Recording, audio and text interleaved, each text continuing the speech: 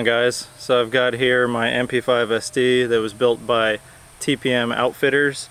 Uh, I just received this. It was a little over a year wait. I think it was like a year and five days. So I know on their website it says 22 weeks.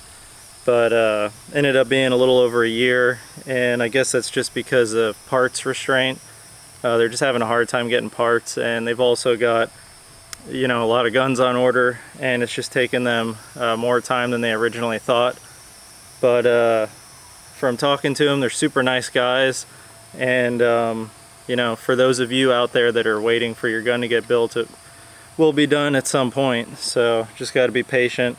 But uh, happy to see that it arrived. Um, I have not shot one of these before. Um, I do have another MP5 SD a German one but I haven't shot it yet. So this will be my first reaction shooting one of these too, which is pretty cool. But I've got a A3 stock on here. If you guys are at all thinking of getting an A3 stock, they're super cool looking, um, but they are uncomfortable. They're a little short. And if you don't have uh, like an optic on the top, it, it's kind of uncomfortable to shoot. So an A2 might be a better choice for you if you're gonna stick with the iron sights. But uh, pretty freaking cool to uh, have this look. Um, I do have my uh, full auto pack on here, so if you are fortunate enough to own one of those, obviously it'll work on this uh, platform. So we've got their TPM suppressor on here. Go ahead and take it off. I went ahead and sprayed this down with uh, anti-spatter, um, the MIG welding spray. So there's that. So this too, unfired, new. Uh, if you're not familiar with the MP5 SD, essentially this suppressor goes over the barrel and there's little ports in the barrel which I'll show you a picture of. But uh, pretty interesting design. So essentially this takes regular supersonic 115 grain and 124 grain and slows it down from bleeding off pressure in here from the holes to make it a subsonic round when it comes out. So I also brought my uh, SP5 with an Omega 9K can on it. So I'm going to test that out with subsonic ammo to compare it to this to see what they sound like. In a lot of uh, suppressor related videos that I see, um, they kind of do like five rounds of one type ammo, five rounds of another, but they never really say uh, what they're hearing. They're just kind of like, oh, which sounded quieter. I'll tell you what I think uh, from what I'm hearing as I'm shooting it.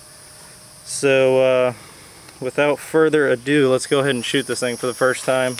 I loaded up uh, five rounds of 115 grain, that'll be first, and five rounds of 124 grain, just to see if I hear any sort of a difference, and I'll go ahead and let you know if I do.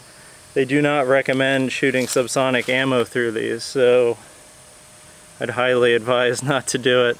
But uh, let me go ahead and grab that mag because this one's empty, and we'll get going. Alright, so I've got the 115 grain first, followed by 124 grain. So five rounds of 115, five rounds of 124. I'm not going to talk in between, just so it's just continuous, so maybe the microphone will pick up a difference. Maybe I'll notice the difference, I'm not sure. Really curious to uh, hear what this thing sounds like. Um, I think the quietest thing there is out there is probably like a 22 uh, with a suppressor, like with a short barrel. Um, and those are pretty quiet. I'll probably do another video on that in the future if you'd like, or maybe even compare it to this. But uh, kind of have no idea what to expect with this, other than I'm assuming it'll sound pretty similar to my SP5 with uh, subsonic ammo. So we'll see. I'm just going to shoot into dirt so that you get the full effect of the sound. But here we go. No ear pro, so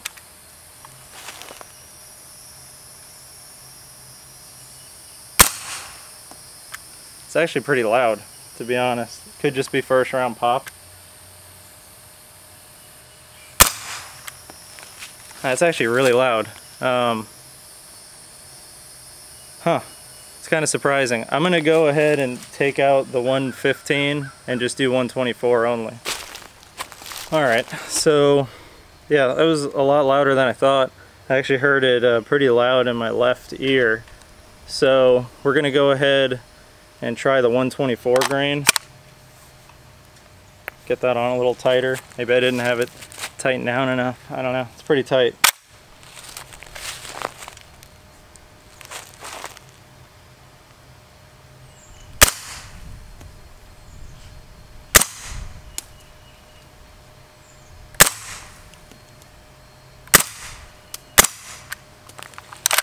Interesting. All right, so it's actually a lot louder than I thought it would be. Uh, kind of disappointing, actually. Uh, let me go ahead and grab my SP5, and I'll throw the 124, or uh, sorry, not 124 grain. I'll throw the 150 grain subsonic stuff on that, and, and uh, see if you guys can pick up a noticeable difference. But honestly, it's pretty loud to me. Um, louder than I was expecting. So let me go grab the other one. Alright guys, got my SP5 A3 stock registered SBR. Got my Omega 9K suppressor. It is a tri-lug adapter, so it goes on nice and easy. Really like this setup, short, compact, uh, exactly what I wanted. Uh, specifically bought this for the MP5. I do run it on some of my Glocks from time to time, but uh, this is a nice setup. I, I got this uh, when they first came out, kind of hard to find at the time.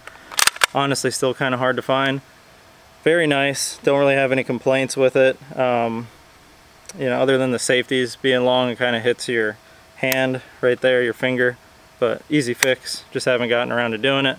So like I said we're going to be running the 150 grain on this. So I know I'm comparing supersonic through that to subsonic on here but I mean it should be similar. But I to be honest it's been a while since I've shot this without uh, hearing protection, but I don't remember being that loud to be honest. So give this a go, five rounds, see what it sounds like.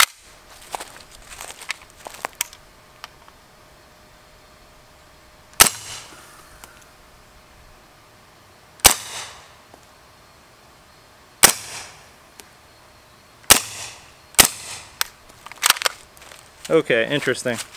So the first round was pretty quiet. Uh, definitely quieter than the SD. The second round had a pop like that one did. And then I think one other one had a pop and then the rest of them were pretty quiet. So to be honest, you know, and this is something I was curious of because I didn't really see it in any other videos out there. It's just kind of, you see people shoot them and you know, you hear them through the microphone, which you can't really pick up much of the sound difference, but in person with no hearing protection on, uh, at least for me anyways, it's kind of interesting to know the difference. Um, hmm, pretty disappointing. I know only put a couple rounds through it. Um, I'm at my buddy's place, so I'm not wanting to shoot a whole lot, uh, you know, piss off the neighbors and stuff. So, yeah, interesting. I, I would still say this is, uh, other than those two pops, this was definitely quieter. Um, it could just be too that that's a brand new suppressor and you know needs to get some build up in there to deaden the sound a little but that one had a very uh, distinct pop. Um, could be the ammo. Um, I don't know, it did it with 115 and 124 grain. Um, I'd almost like to run the subsonic through there just out of curiosity, which uh, would be super quiet, but they highly recommend you don't do that. Probably because it slows it down so much that you might get a baffle strike. But um, let me go ahead and switch back to the other gun because it's probably the main reason you clicked on this video. Alright, so I apologize. I was planning on uh, doing a few of these mag dumps, but uh, to be honest, it's a lot louder than I thought. I don't want to piss off my friends' neighbors, so uh, probably not going to do that. But yeah, so interesting. Like I said, maybe it just needs to be shot more. Literally, this is the first time shooting it, so it probably needs to get some, you know, carbon buildup inside the suppressor, but it had a very loud pop that I could hear distinctly in my left ear. I'm a righty, so I would think I would hear stuff more in the right side because that's where the uh, opening is, the ejection port there. But yeah, I heard it on the left side. it was pretty loud, like first round pop, uh, but it was doing it on every round. So interesting, still very cool gun, very iconic. Uh, you know, ton of movies that these were in, and I think uh, for me anyways, a lot of the uh, firearms that I'm interested in are from like 80s and 90s action movies. And that's kind of what inspired me to, uh, you know, like these types of particular firearms. So everybody's a little different, but that's kind of my uh, cup of tea and what I like. But I did bring a 22 uh, pistol with a suppressor, so because I was going to kind of compare those back. Cause I honestly thought this was going to be a whole lot quieter, but uh, it seems like the SP5 with the Omega 9K is definitely quieter than this with subsonic ammo in that. Um, food for thought, uh, you know. So I'm going to go ahead and uh, grab the 22 pistol with the suppressor on it run a mag through that. You know, you could hear the difference, but like I said, you can only hear so much through the speaker on the, the camera. Actually, you know, hearing it in person is a different thing. So let me go ahead and grab that and I'll be right back. Alright, so here I've got a Taurus TX22. Uh, it's like a 4 inch barrel, something like that. And I've got a dead air mask suppressor on here. This thing's very quiet. Now I've just got some uh, cheap uh, round nose federal. I think it's 40 grain or 38 grain. I don't remember. But um, even with this crappy ammo, because it still has like some pops randomly, when you're running like a, a, nicer hollow point ammo through it, it's like just super quiet. So this might be like a smidget louder on some rounds than others just because it's a cheap round. But um, these are super quiet. As far as I'm aware, this is as quiet as you're going to get uh, with a gun and a suppressor. So let's go ahead and empty this mag out.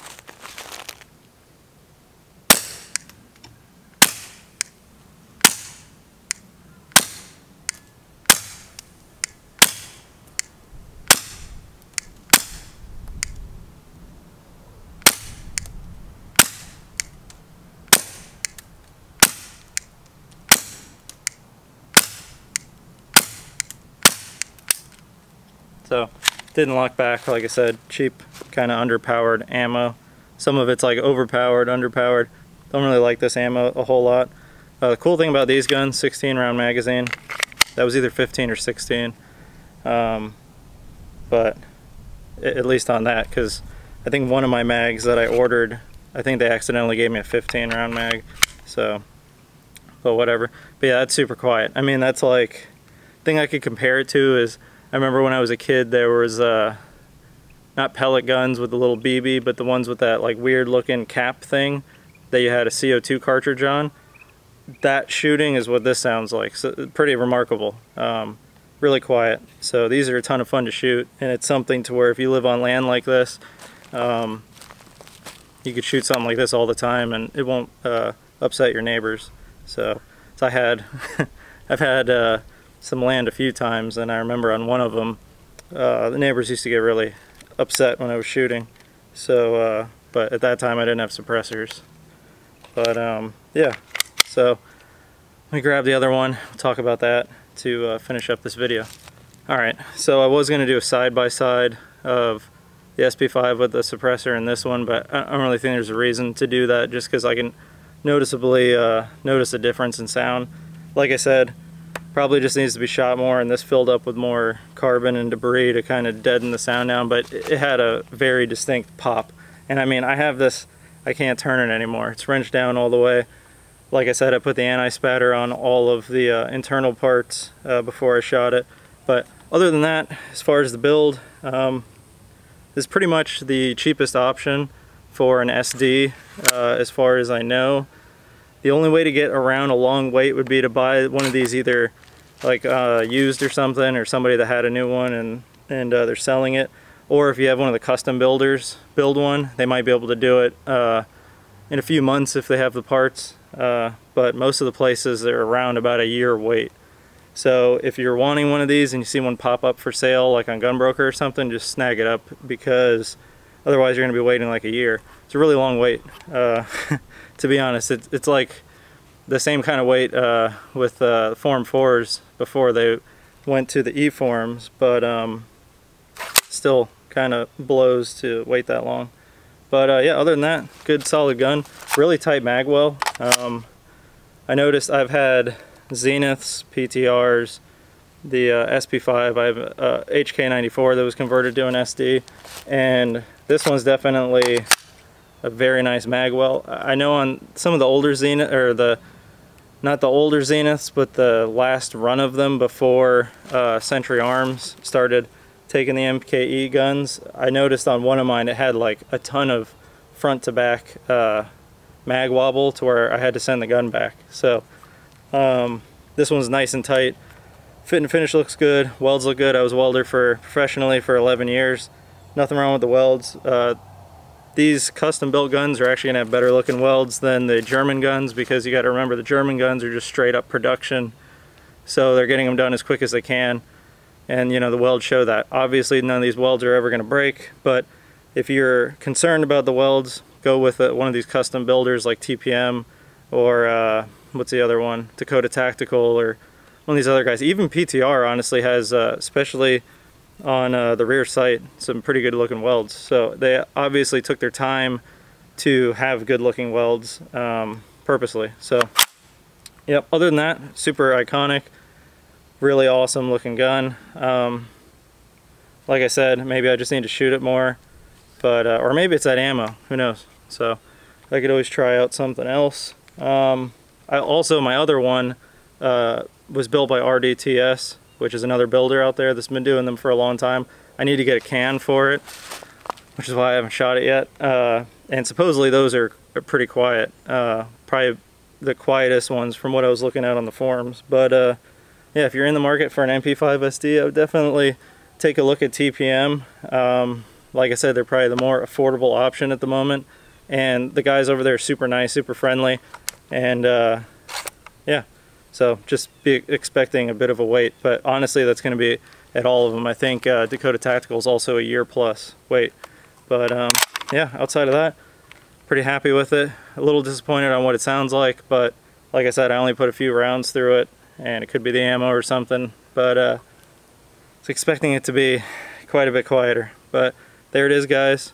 Uh, maybe I'll make another video on uh, something else later, or if you have any suggestions for this video. I really wanted to do a mag dump, but uh, you know, you know what? I'll just do like a quick burst. Hold on. All right, another thing I didn't mention uh, on the rails for the A3 stock, like PTR, they're kind of wide, so the stock wobbles up and down. This one's nice and tight, like the German guns I have, so the stock doesn't really move around. I went ahead and threw the a2 stock on here, which is probably what I would recommend if you're just going to run iron sights. is way more comfortable. And it kind of gets your, your face down on there so you can see the sights better. So I went ahead and stuck this on to uh, go ahead and dump a little ammo with this, but I only loaded up five rounds. So we'll uh, just do the five round dump since it's kind of loud. Um, but yeah, let's give it a go.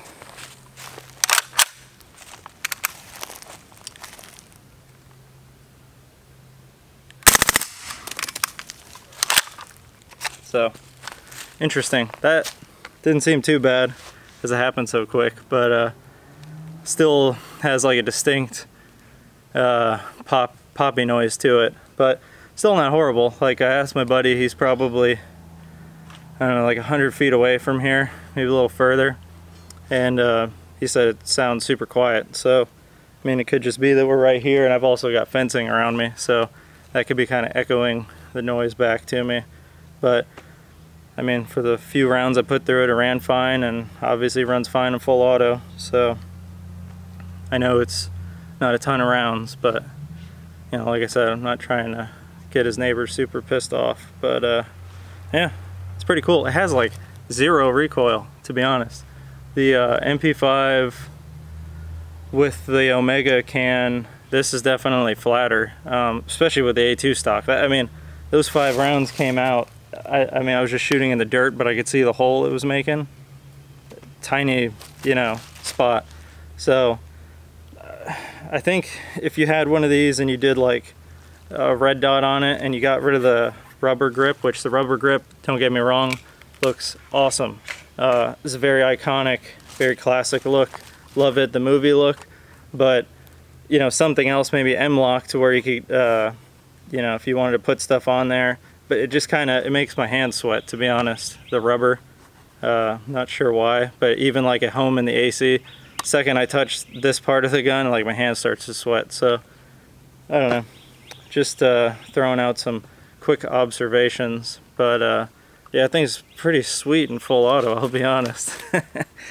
you know, uh, yeah, so yeah, let's pick one of these up if you're in the market for one. Um, you know, this is definitely like the holy grail of uh, MP5s. So yeah, pretty sweet. So appreciate it guys. Uh, if you'd like to see other videos or have suggestions or, or anything, uh, just go ahead and comment down below and uh, subscribe if you haven't already.